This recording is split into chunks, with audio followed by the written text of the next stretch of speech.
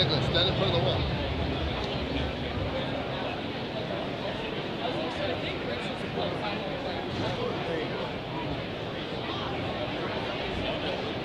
Three, two.